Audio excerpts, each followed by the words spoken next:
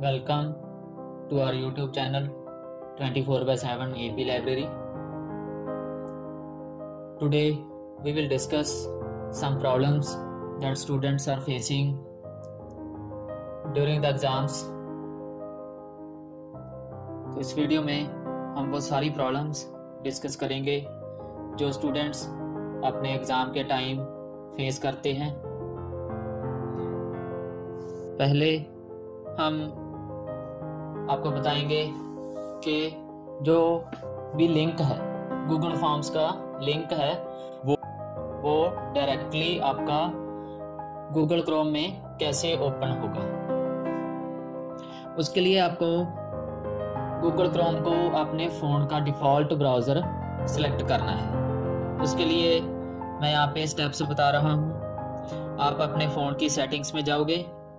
Settings में जाने के बाद आपको मोर सेटिंग्स पे क्लिक करना है।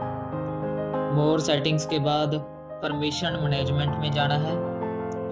परमिशन मैनेजमेंट में आपको जो एक ऑप्शन दिखाई देगा डिफ़ॉल्ट ऐप सेटिंग्स ये आपका यहाँ पे जो लास्ट ऑप्शन शो हो रहा है, आपका कहीं पे भी शो हो सकता है। तो डिफ़ॉल्ट तो डिफ़ॉल्ट ऐप सेटिंग में आप जाएँगे। डिफ़ॉल्ट ऐप सेटिंग में आपको ब्राउज़र का ऑप्शन मिलेगा एक। उस ब्राउज़र के ऑप्शन पे आपको क्लिक करना है। वहाँ पे आपको जो भी आपके फ़ोन में ब्राउज़र्स इंस्टॉल होंगे, वहाँ पे आपको शो हो जाएँगे, जैसे कि आपको अभी स्क्रीन पे शो हो रहे हैं। उसमें से आपको गूगल क्रोम को सिलेक्ट करना है। तो गूगल क्रोम को सिलेक्ट मैंने कर दिया है। यहाँ पे आप देख रहे हो गूगल क्रोम को सिलेक्ट करने के बाद उसके अगेंस्ट एक टिक शो हो रही है तो वो हमारा डिफ़ॉल्ट ब्राउज़र बन चुका है। अभी आप वापस अपने व्हाट्सएप पे जाओगे तो उसमें जब भी फॉर्म पे क्लिक करोगे गूगल फॉर्म के टेस्ट पे क्लिक करोगे तो वो डायरेक्टली आपका गूगल क्रोम में ओपन होगा। जैसे कि आप अभी यहाँ पे देख रहे हो कि गूगल क्रोम में ये टेस्ट ऑटोमेटिकली ओपन हो गया है। गूगल क्रोम में आपको इसलिए प्रेफर कर रहा हूँ क्योंकि गूगल क्रोम में आपके जो बाकी ब्राउज़र्स में प्रॉब्लम्स फेस करते हो आप ड्यूरिंग द एग्ज़ाम वो आपको गूगल क्रोम में फेस नहीं करनी पड़ेगी।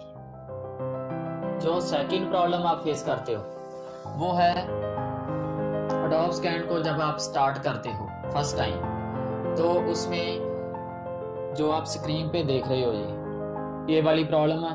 बहुत ज़्यादा स्टूडेंट्स को फेस करनी पड़ती है। एक्सेस डिनाइड की।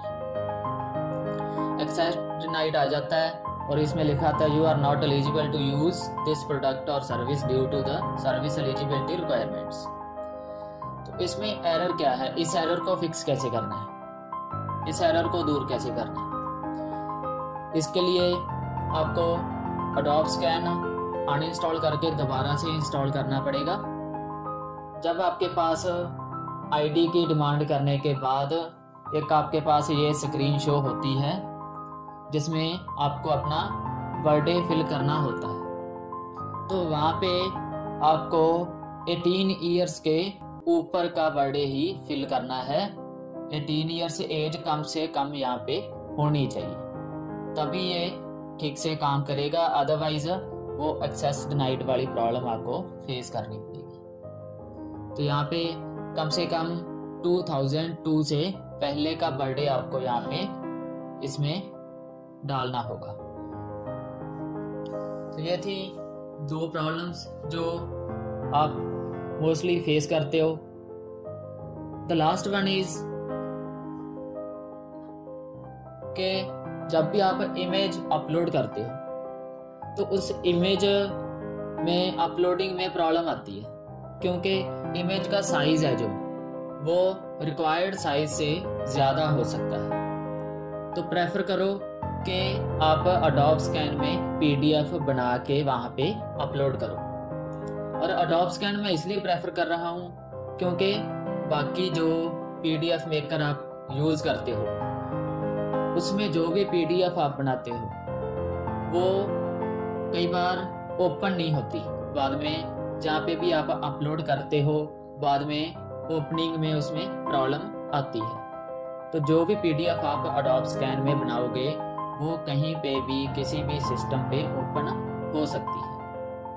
तो उसमें आपको ये प्रॉब्लम फेस नहीं करनी पड़ेगी कि आपके पास टीचर का फ़ोन आएगा, कि आपकी पीडीएफ ओपन नहीं हो रही है this is unable to open so to fix these problems you can use Adobe scan for making PDF ये थी कुछ प्रॉब्लम्स जो आप ड्यूरिंग एग्ज़ाम फेस करते हो। इनसे बचने के लिए ताकि एग्ज़ाम आपका अच्छा जाए तो आप इन स्टेप्स को फॉलो कर सकते हो। अगर कोई और प्रॉब्लम आप फेस कर रहे हो एग्ज़ाम टाइम तो आप यहाँ पे कमेंट बॉक्स में अपनी प्रॉब्लम मेंशन कर सकते हो। उसका सलूशन हम आपको नेक्स्ट वीडियो में दे देंगे।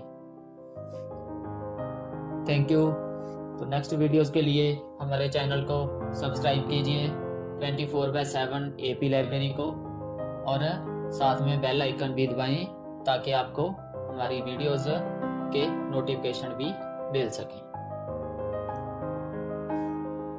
तो मिलते हैं अगली वीडियो में। Thank you